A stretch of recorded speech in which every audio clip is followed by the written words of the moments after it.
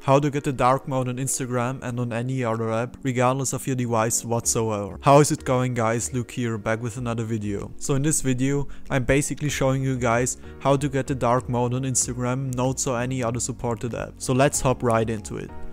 So recently, with the Android 10 update, Google brought us a system-wide dark mode. This doesn't only look good, but it also saves battery on devices with an OLED screen.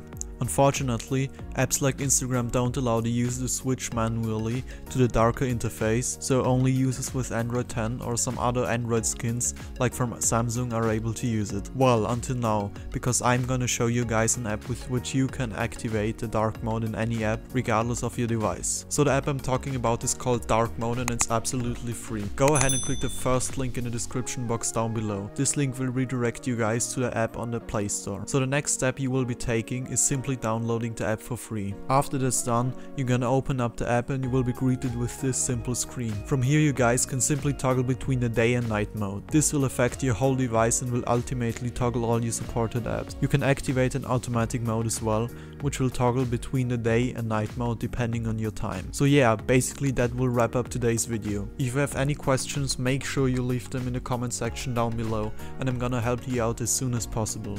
If you guys did like the video, be sure to hit that like button down below. Also, if you guys haven't subscribed already, be sure to hit that subscribe button down below. It's been Luke and I'm out. Peace.